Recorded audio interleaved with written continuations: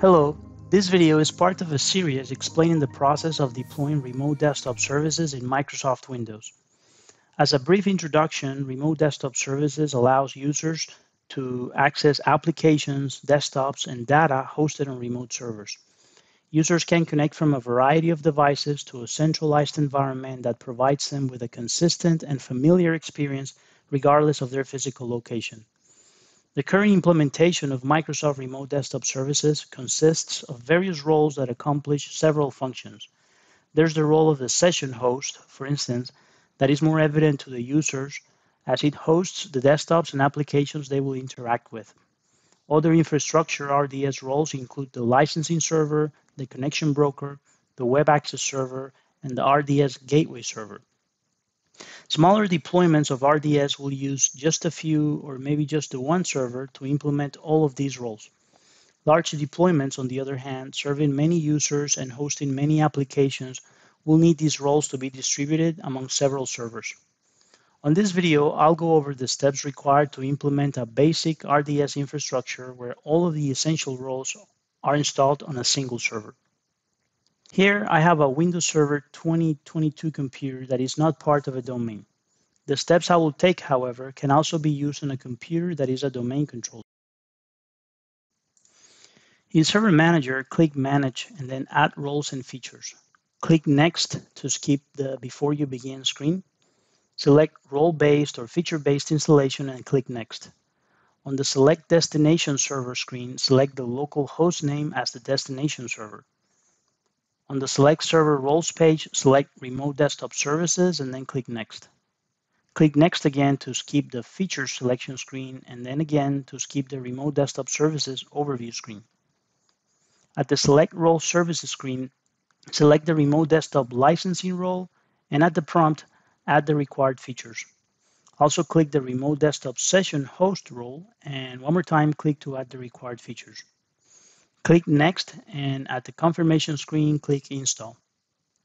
Wait for the installation to finish and when it is finished, click Close to exit the wizard and restart the computer. After the restart, the session host is ready to receive remote desktop connections. But first, it's important to configure licensing. First, in Server Manager, click Tools, Remote Desktop Services, and then Remote Desktop Licensing Diagnoser. Notice that zero licenses are available for clients, the licensing mode shows as not configured, and two warnings are displayed. Again, that the licensing mode is not configured and that the session host is within its grace period and has not been configured with any license server. This last part is also visible under the Remote Desktop Services license server information. In Server Manager again, click Tools and Remote Desktop Services and now Remote Desktop Licensing Manager. Notice the red X next to the server name. Right-click the server name and the reason is displayed. License server is not activated. Let's correct all of this. First, open the local group policy editor by running gpedit.msc. Expand computer configuration, administrative templates, Windows components, remote desktop services, remote desktop session host, and then licensing. Double click use the specified remote desktop license servers, click the Enabled radio button, and then enter the computer name or IP address of the local host. This is because I'm using one server to host all of the required RDS roles, including licensing. If I were to use a different workgroup server as my license server, I would have to enter its name here as well. Click OK when finished. Back in the RD licensing diagnoser, click refresh and notice that the license server for the deployment is now listed. The second warning has now changed to license server is not activated. This will be taken care of shortly. Return to Group Policy Editor and double-click the Set the Remote Desktop Licensing Mode policy. Click the Enabled Radio button and then ensure that the licensing mode is set to per device. This is a requirement when RDS uh, client access licenses are in use in a workgroup environment because these client access licenses need to be assigned to client devices as opposed to users in an Active Directory domain. Click OK. Back again in RD Licensing Diagnoser, click Refresh and take note of the changes. In addition to the warning seen previously about the server not being activated, there's one indicating that there aren't any installed licenses. Let's correct these warnings next. Return to RD Licensing Manager, right-click the license server and click Properties. Activating the license server is a process that will look different depending on which option is configured for the connection method here. The automatic connection is the default and recommended method. As the description shows, the license server requires internet connectivity to reach the Microsoft Clearinghouse servers to complete the activation. The other two methods are used when there's no internet connectivity directly from the server that needs to be activated and basically allowed to complete the activation through a web browser from a different system or over the telephone. This server, however, has internet connectivity, so let's leave that default of automatic connection by clicking Cancel. Right-click the license server again and click Activate Server. At the wizard, click Next on the welcome screen. Leave the default for the connection method and then click Next enter the required information and click Next again. The following fields are not mandatory, but it is recommended to fill them out. When finished, click Next. At the completing wizard screen, notice the message indicating that the server was successfully activated and click to uncheck the Start Install Licenses Wizard Now checkbox. We will do this later. And then click Finish. Back in Remote Desktop Licensing Manager, notice that the red X next to the server name is now gone. The green check mark indicates that the license server is now activated.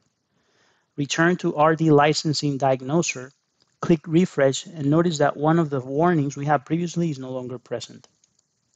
Before starting proper use of this newly deployed RDS session host slash license server, there's one more step, and that is to install the corresponding RDS client access licenses.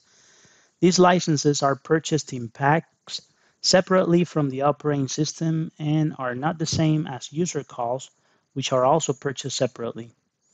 In the video description, I've included a few links containing more information about RDS CALs, but for now, let's just work with the premise that every device or user that connects to an RDS session host requires an RDS CAL from the license server. There's a grace period of somewhere between 52 and 120 days, depending on the type of setup, during which this requirement is not enforced. But once this grace period is finished, the connections will be refused due to the lack of licenses. This is what this error back in RD licensing diagnoser is about. To install the licenses, back in RD licensing manager, right click the server and click install licenses. Click Next at the welcome screen. Ensure that the right license program is selected.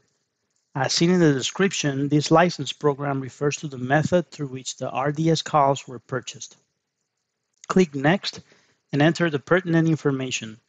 This information will sometimes be digital and available via email to the person that did the purchase or through a website, but it can also be in physical documentation in the form of product keys. Click Add you can review the status and type of the CALs and then click Next. At the completing the install licenses wizard, click Finish.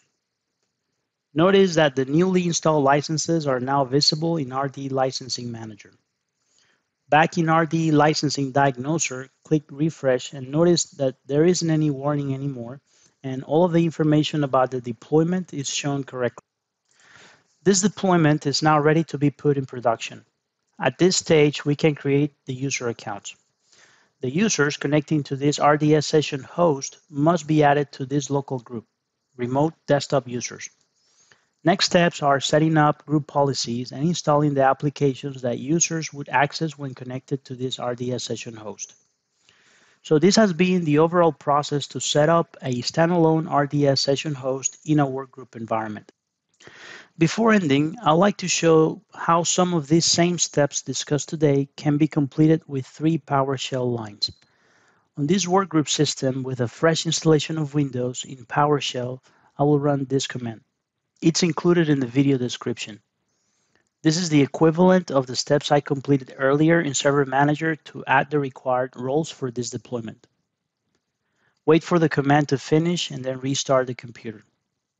When it's back up, run the following two lines.